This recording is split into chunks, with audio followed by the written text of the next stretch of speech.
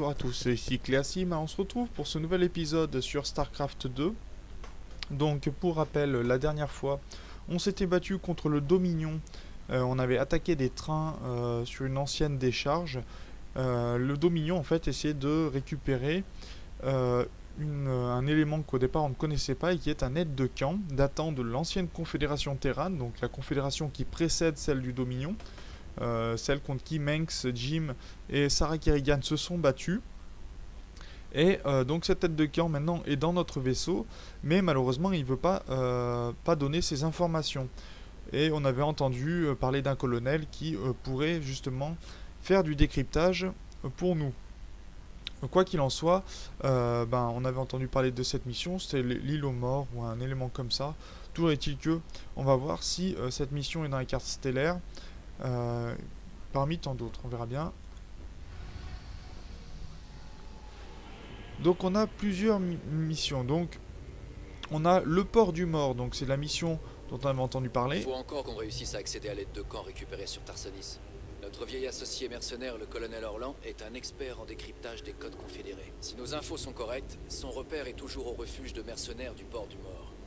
On ne peut pas vraiment lui faire confiance, mais c'est la meilleure chance qu'on ait de casser ce code. Donc voilà, alors pour cette mission, récupérer le vautour, ce qu'on a entendu un petit peu parler euh, quand euh, Jim et Ticus euh, discutaient justement des attaques de train qu'ils faisaient il y a de ça plusieurs années en arrière.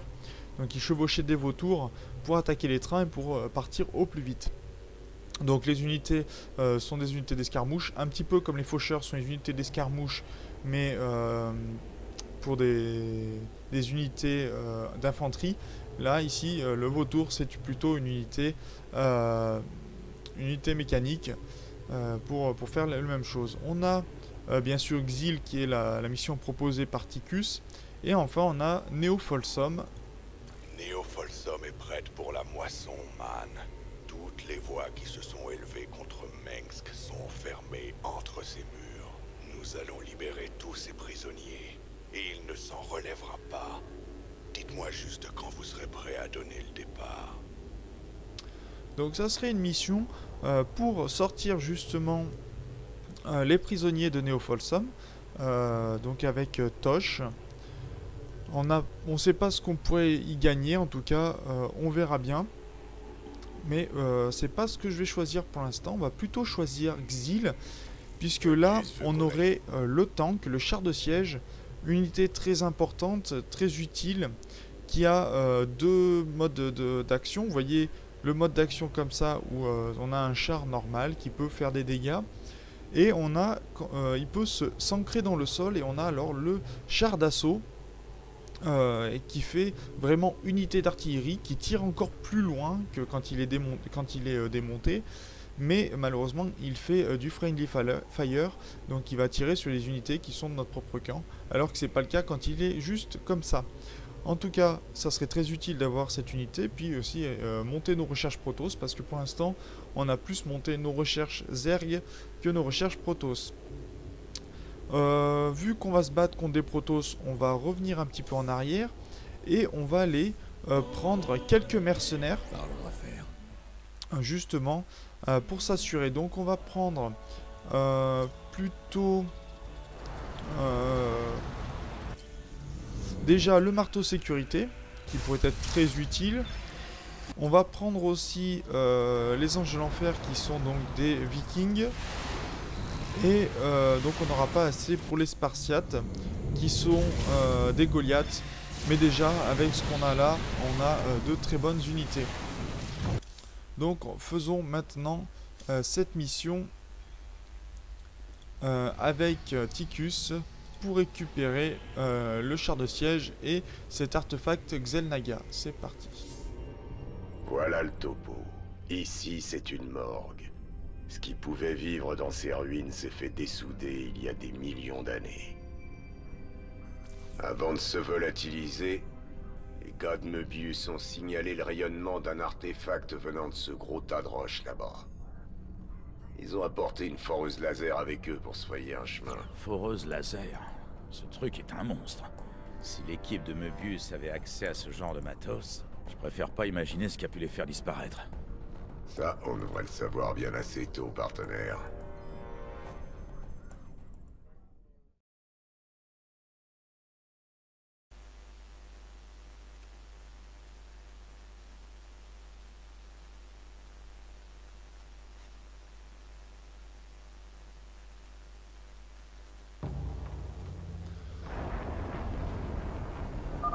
Surveillez vos arrières, les gars. Je sais pas qui a nettoyé cet endroit.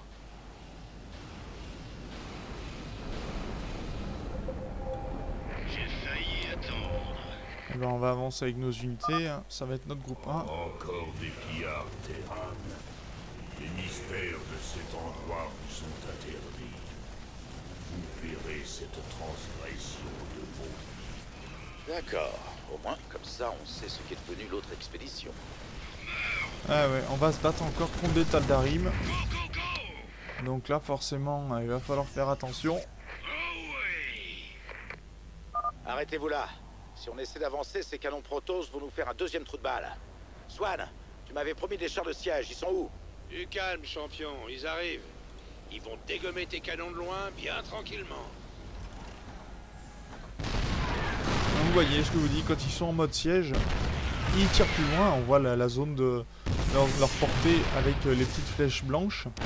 Et vous voyez que tout de suite, euh, on tire bien plus loin. euh, bien plus loin que les, les tourelles Protoss, mais aussi les, les- les tourelles. les tourelles Zerg, les tourelles Terran. Donc forcément on peut faire bien plus de dégâts. C'est forcément bien plus utile. Donc au moins on sera épaulé maintenant. Ces nouveaux chars de siège fonctionnent comme les anciens. Quand tu les mets en mode siège, ça augmente leur portée et leur puissance de feu. Mais en mode siège, ils bougent plus. Donc si tu veux les repositionner, repasse en mode char. C'est clair Très clair. Ordre reçu. Donc on a euh, une petite aide, hein, c'est une sorte de petit Déployons tuto quelques chars de siège sur les hauteurs. pour euh, savoir le utiliser, tracker Protoss euh, avant le justement. Euh, utiliser un petit peu euh, ces unités là. Donc c'est parti. Et on va pas le laisser avancer plus que ça. Vous voyez tout de suite, hein, c'est bien plus utile.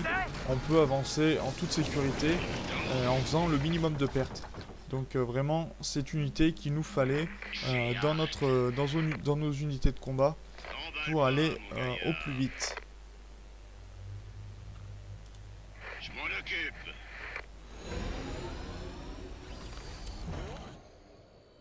Accès au réseau local de la base Möbius. Décryptage des codes de sécurité. Transfert du contrôle des bâtiments de la base, commandant.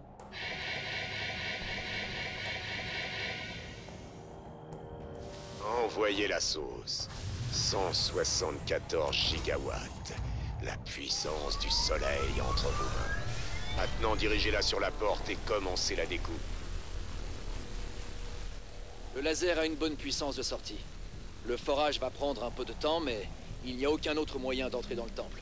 Commandant, les Taldarim rassemblent leurs troupes contre nous. Alors on établit un périmètre de sécurité et on protège la foreuse jusqu'à ce qu'on ait fini.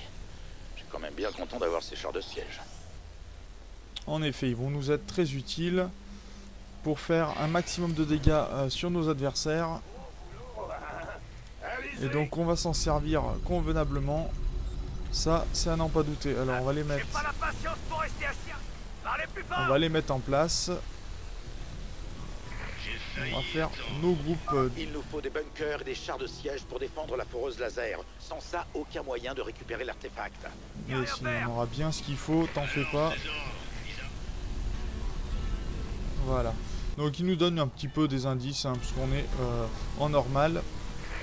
Mais pour l'instant, euh, on va s'en passer un petit peu. On va construire un labo technique, parce qu'il nous faut des unités supplémentaires, oui. Euh, ça, c'est le 4, ça, c'est le 3. Voilà, comme ça, j'ai posé un petit peu tout ce qu'il nous fallait. Moi, on a nos groupes. Il va falloir bien sûr faire d'autres unités, donc notamment des Goliaths et des chars de siège pour euh, cette unité-là.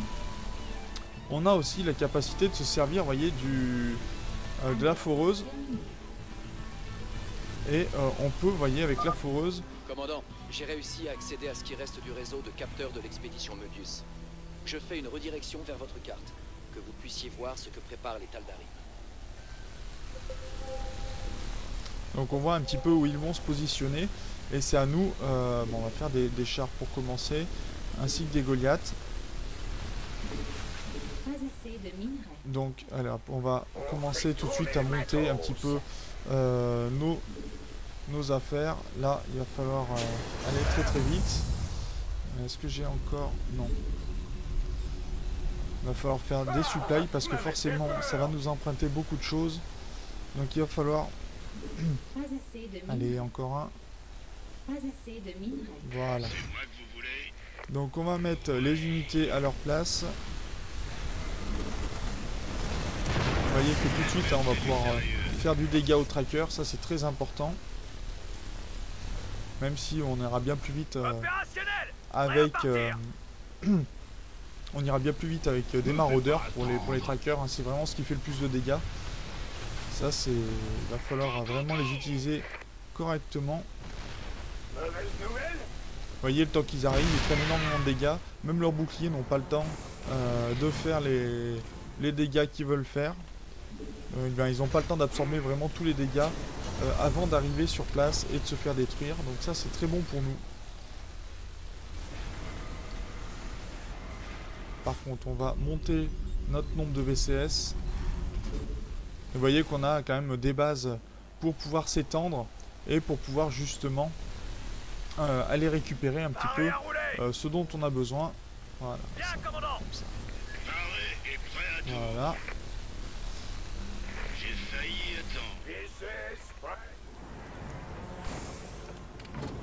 Allez hop. Après toi, tu vas revenir ici. On a besoin de ressources. Malheureusement, euh, là, ça va vraiment être le nerf de la guerre. Ça, ça ça. Serait sympa de pouvoir se servir de, ce laser-là. euh, pour faire un petit peu des dégâts chez l'adversaire, ça serait une bonne chose, je pense.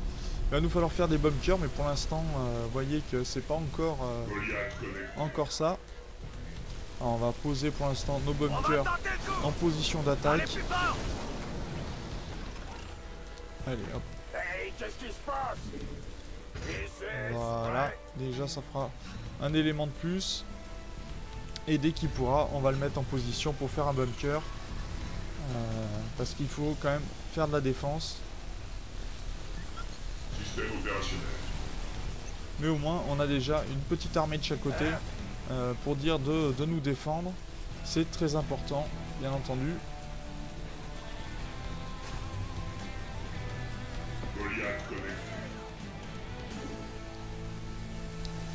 Ouais, hop, hop, on a posé un premier bunker qui nous fera quand il pourra. Vous voyez que là même les pauvres zilotes n'arrivent pas à arriver au corps à corps alors qu'ils ont besoin justement euh, d'être en corps à corps. Donc ça c'est vraiment très très utile. Et après tu reviendras travailler.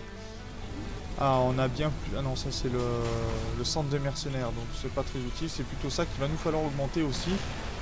euh, pour pouvoir euh, se défendre correctement.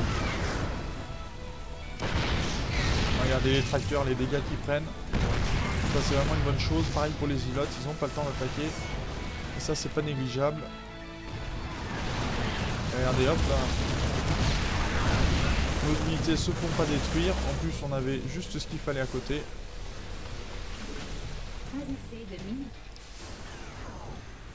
Donc tout ça c'est le groupe 2. Tout ça. euh, toi. Tu vas. Mais si, j'ai assez Pas de minerais. assez de minerais. Regarde, j'en ai assez. Euh, tout ça, c'est notre groupe 1. Et il va nous falloir, euh, ben, je pense, dans un petit moment quand même, attaquer. Vous voyez que là, les... Les, les, protos arrivent depuis ces bases-là. Il y a trois bases et il va falloir certainement euh, qu'on les jugule. Donc certainement devoir les attaquer aussi. Ça sera vraiment très important pour nous, je pense. Euh, et ça pourrait être d'une grande aide. Donc pour ça qu'on va faire d'autres unités.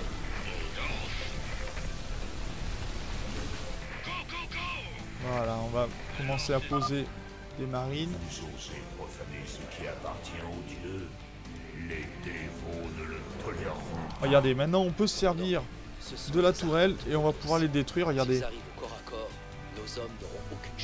voilà, justement, elle fait énormément de dégâts. Ça, c'est ce qu'il nous faut. Essayez de voir s'il y a un moyen de l'utiliser contre les Protoss. Très bien, vous avez entendu? Balancez le laser par ici. Est-ce On qu'on- peut l'utiliser pour repousser les Taldarim. C'est ce qu'on fait. Allez. Comme, ces unités là, ils ont, ils ont beaucoup de boucliers, mais peu de vie. Et regardez, hop là, on peut faire comme ça. Alors on perd un peu de temps, mais au moins, euh, non, tu viens là. Et vous voyez que là tout de suite, euh, le, le- le laser sur les unités adverses, ça fait un dégât monstre. Ils n'ont pas le temps d'approcher. Donc c'est pour ça qu'il nous faudrait pouvoir avancer. Et si on peut avancer justement, euh, on ferait énormément de dégâts. Alors est-ce qu'on peut construire euh, un spatioport par exemple? Malheureusement non. Mais en tout cas on est averti euh, quand il y a des archons. Ça c'est très important. Parce que ces unités là, faut les détruire très vite. Elles ont beaucoup de vie, beaucoup de boucliers. Voilà. Attendez, je reviens deux secondes. Voilà, on se retrouve. J'ai un petit souci avec Battle.net, donc euh, c'est eux qui, euh, qui hébergent les, les parties. Ben, c'est, sur les, ces serveurs-là qu'on a tous les hauts faits en fait. Et euh, ils s'étaient dé- désactivés, donc rien de bien important. En tout cas, ça gêne pas la mission. On va pouvoir continuer à jouer. Donc voilà, allez, c'est parti. On lance un petit peu encore des VCS. Et là, on va faire des unités pour attaquer directement. euh, On fait tourner le matos. Et après, tu reviendras ici. Bien. Bougez-vous, j'arrive. VCS. Allez. Voilà. Donc ensuite, euh, on va attaquer les Protoss. J'ai perdu un petit peu le, le fil de mon histoire, mais en tout cas, on pourra attaquer les Protoss. La foreuse laser a percé la couche extérieure de la porte. Donc ça, c'est plutôt bien. Maintenant, il va falloir s'en servir euh, pour pouvoir attaquer. euh, on va s'en servir aussi pour attaquer les Protoss. Ça peut être une aide non négligeable. Parce que si on désactive un, à un, vous voyez ces unités là, là, euh, on pourra avancer sans problème et faire des dégâts monstres chez l'adversaire. Donc vraiment très important. Euh, toi.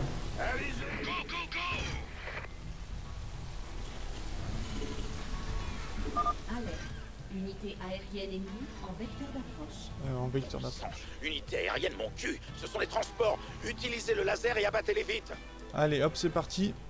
Alors, ça, euh, c'est vraiment à détruire. Parce que c'est vraiment très dangereux. Si on les laisse s'approcher, ils font venir des unités.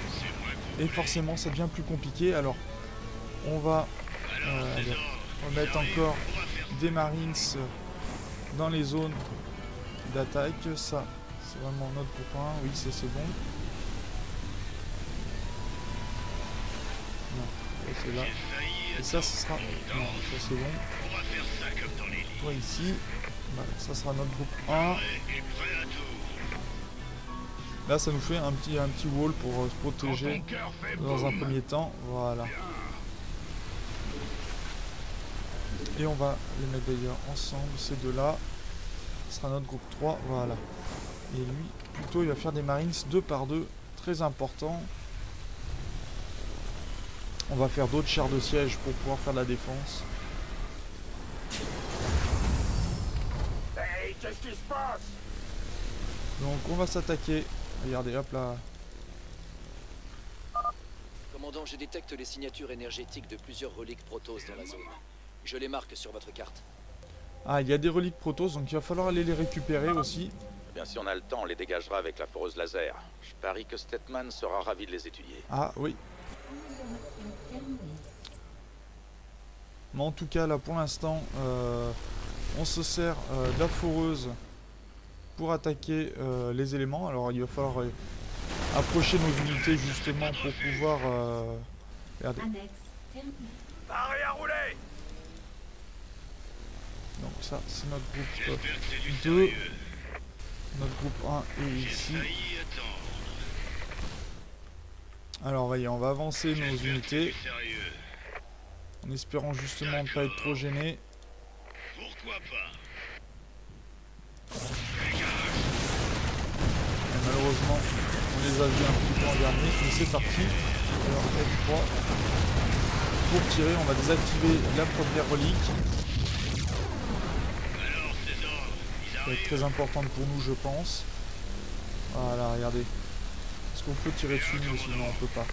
faut vraiment les tirer avec... euh, Opérationnel Prêt à partir Voilà, on a une première relique, donc ça c'est très bien. On va revenir un petit peu en sécurité ici. Euh, par contre, on n'a plus tellement... Allez-y Ouais, ouais. Bien sûr. En tout cas, on va refaire d'autres dépôts, comme ça au moins euh, on s'assure de pouvoir On euh, tirer comme on veut. Alors on va avancer un petit peu avec celle-là. On va en profiter, hein, vu qu'il y a deux reliques ici, on va aller les chercher. Est-ce vous pouvez passer? Non, vous pouvez pas passer par là. Vous voyez qu'on a déjà eu la moitié des portes, donc euh, euh, ça c'est important.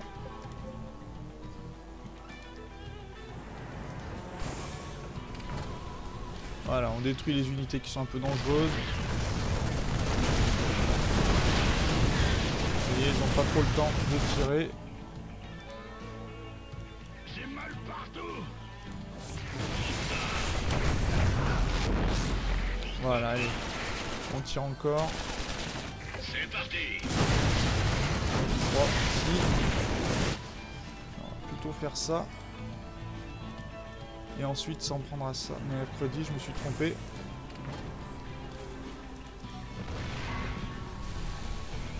Vite, il faut aller défendre, parce que là, sinon, on va avoir quelques surprises et je pense que ça va pas être très bon pour nous.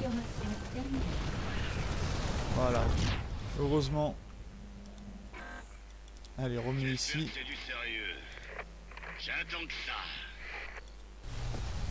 Ah, on n'aura pas eu le temps de faire trop trop de dégâts, mais... Alors, F3. Allez, prends-toi au sanctuaire, s'il te plaît. faire ça comme dans les livres.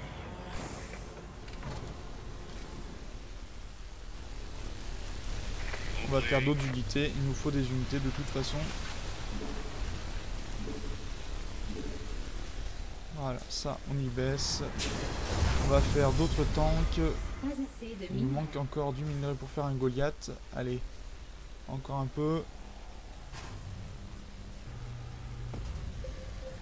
Voilà, on a le Goliath. Ça, tu détruis ceci. On en profite pour récupérer les points de recherche. Ça, très important pour nous.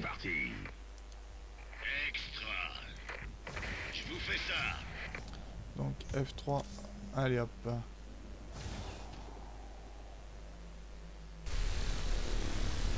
En tout cas là les pauvres zilotes, regardez hop là, ça tire pile au milieu d'eux. Ils On va pas pouvoir faire grand chose, ils prennent énormément de dégâts, ça c'est très important, voilà.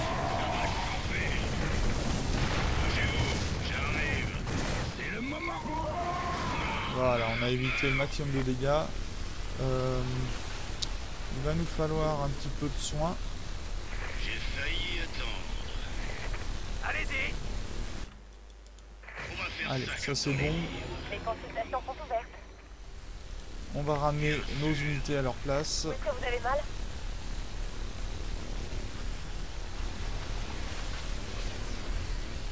Et on va aller attaquer un petit peu euh.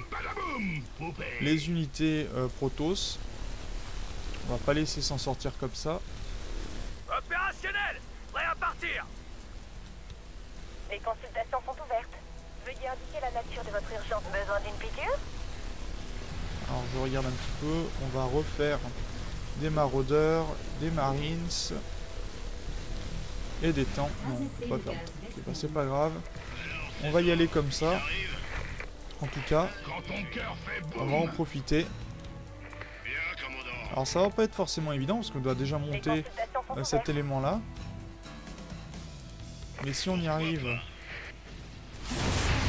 Allez hop. Commandant, de nouvelles unités aériennes en approche. Il faut les descendre, sinon ils vont continuer à larguer des troupes en plein sur nous. Non, on n'a pas réussi à les avoir malheureusement. La base est j'ai mal joué. Ah, c'est pas bon ce que j'ai fait.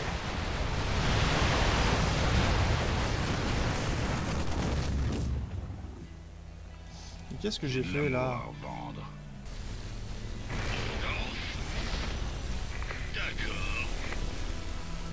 Détruis ça, veux-tu Ça n'a rien à faire là. Qu'est-ce qui s'est passé J'ai fait une erreur quelque part, manipulation. Euh, je sais pas pourquoi, mais c'est dérangeant. Voilà, on va refaire un peu ça un peu mieux. Mais malheureusement, j'ai pas réussi à attaquer ce que je voulais.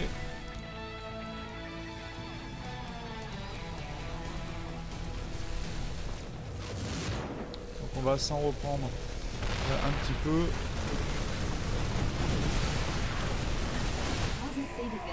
On n'a pas assez de gaz. Laser est en train d'attaquer la barrière thermique de la porte. Bon, en tout cas, euh, vous voyez qu'on arrive à avancer quand même assez bien euh, avec... euh, J'espère que c'est du sérieux. qu'on avance correctement. Allez, hop. Il va falloir au moins détruire euh, les, les premières unités, ça c'est vraiment la base.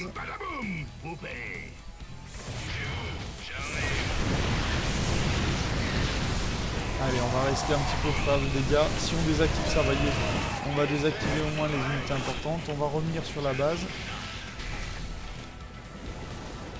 Et on va s'en prendre à celle-là. Si on détruit ces unités-là, euh, on aura euh, gagné euh, du dégât. De.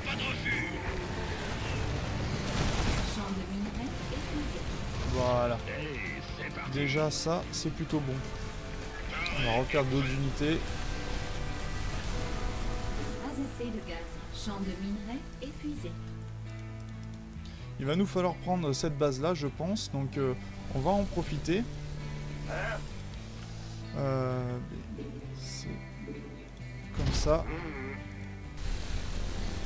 Et on va mettre des bunkers à ce niveau là, justement pour défendre un peu mieux.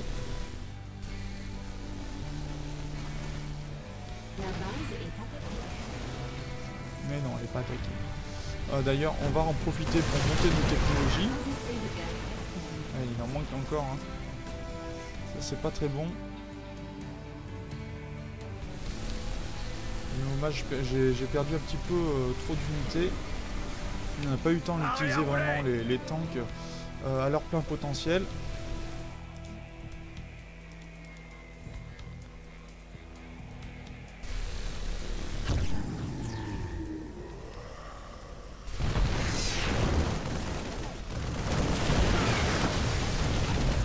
C'est plutôt bon, ça s'est bien passé.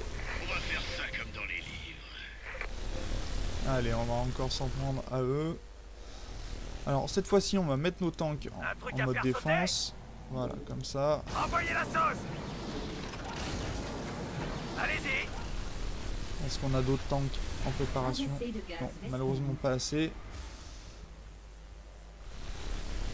Opérationnel Prêt à partir Comme ça, ça. On va le lancer ici.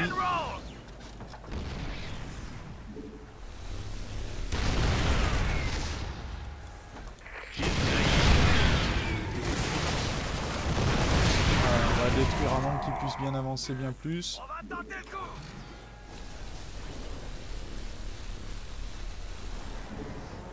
Ensuite, les... on mettra une de chaque côté et après il viendra euh, travailler ici. Donc comme ça on aura une défense de ce côté-là.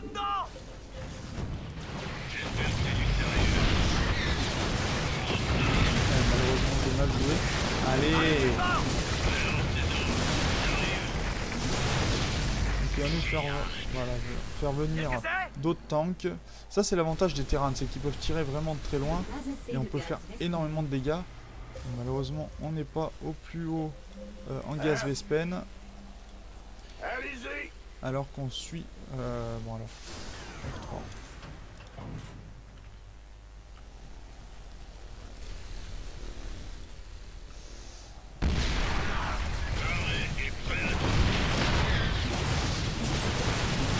On va faire quelques marines. Voilà, comme ça au moins euh, on pourra défendre aussi correctement. Parce que là vous voyez que ces unités là si on les laisse euh, avancer, elles vont faire beaucoup de dégâts.